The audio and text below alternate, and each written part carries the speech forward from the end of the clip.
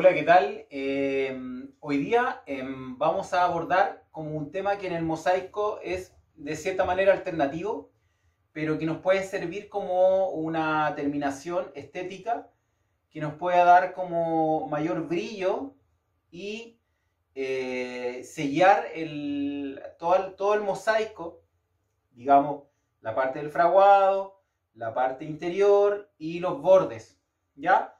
Este proceso que hacemos en el taller ya hace varios años se llama el lacado, en el cual vamos a utilizar los siguientes elementos.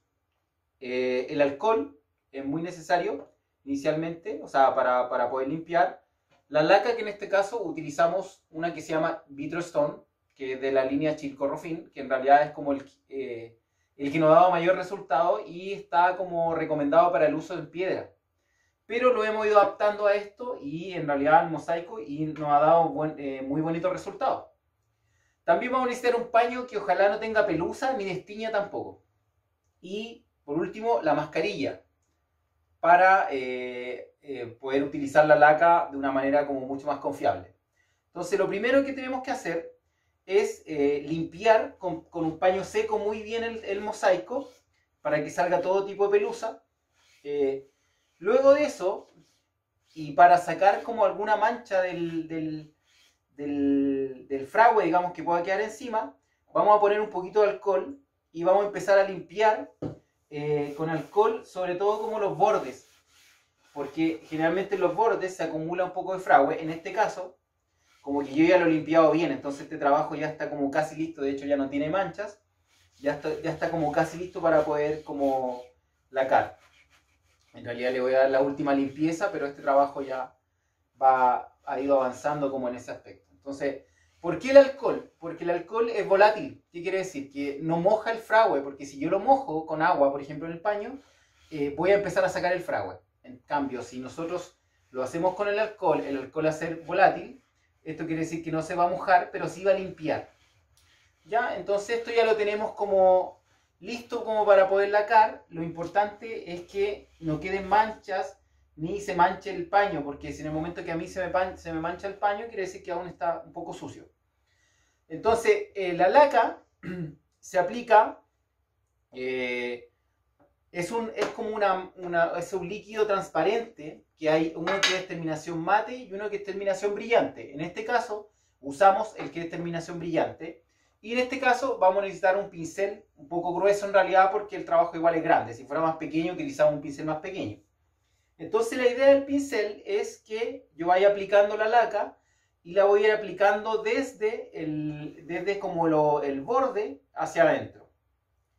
Y la idea es que sean pinceladas muy, muy cortas y, bien abundantes en la laca, porque si no como que se tiende a rayar. Y cuando yo lo veo de lado, se va a ver rayado.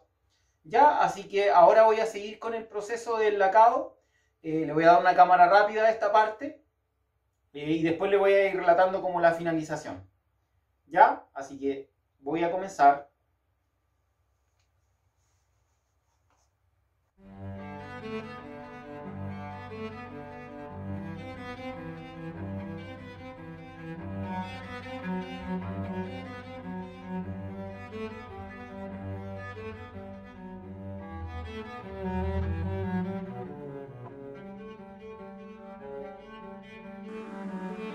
Este proceso eh, la idea es que vayamos ordenadamente colocando la laca de tal manera que no nos perdamos y no nos queden espacios sin colocar.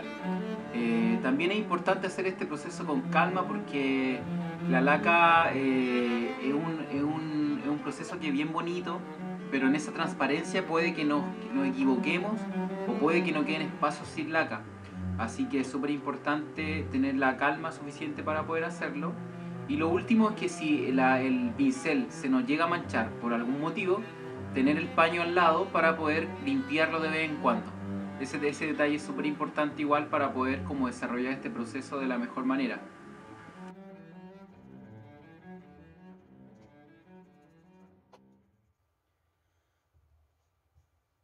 Ya, como vemos, eh, las pinceladas como fueron cortas, vuelvo a reiterar, esta parte súper importante, pero bien abundante en la laca porque si no nos queda rayado. La idea es que esto no quede una película brillante, que en realidad lo que hace es cubrir como la totalidad del mosaico y la idea es que sean mínimo dos manos.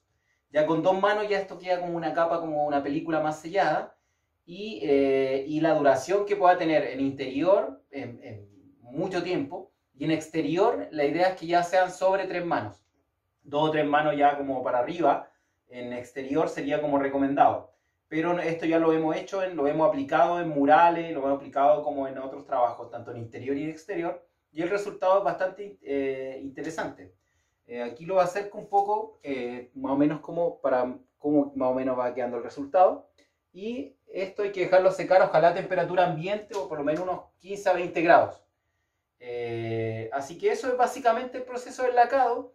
Es un proceso alternativo al mosaico, pero en la aplicación eh, queda bastante bonito. Las piedras sobre todo le da un brillo, le da un toque como bien interesante. Y el fraguado pasa a ser como mucho más oscuro que, que como queda más o menos en el toque, por más que sea negro.